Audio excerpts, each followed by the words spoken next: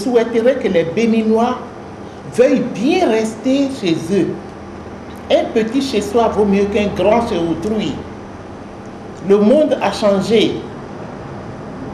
Vous voyez, le Burkina a ses problèmes qui lui sont propres. Alors que les Béninois aussi restent au Bénin, essayent de travailler au Bénin. Il y a à faire au Bénin.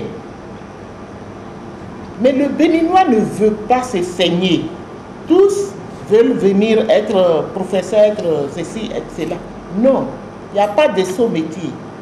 Quand on est chez soi, on peut toujours trouver à faire. C'est plus facile chez soi que chez autrui.